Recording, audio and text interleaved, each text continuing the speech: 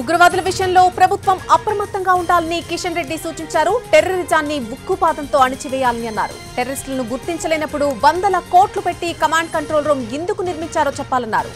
మధ్యప్రదేశ్ నుంచి వచ్చిన పోలీసులు ఎక్కడ ఉగ్రవాదులను గుర్తించాల్సి ఎందుకు వచ్చిందో చెప్పాలన్నారు కిషన్ రెడ్డి.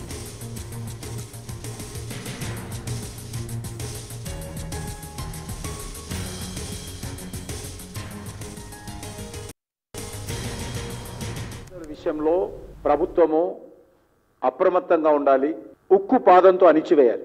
వందల కోట్లు పెట్టి కమాండ్ కంట్రోల్ రూమ్ కట్టాము.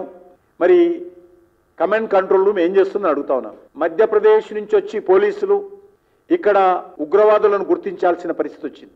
ఖచ్చితంగా ప్రభుత్వము పోలీసులకు స్వేచ్ఛనివ్వాలి. ఈరోజు పాతపట్నంలో ఒక పోలీసు అధికారి కానీ ఒక ప్రభుత్వ అధికారి కానీ స్వేచ్ఛతో వెళ్ళే పరిస్థితి లేదు. ధైర్యంతో వెళ్ళే పరిస్థితి లేదు.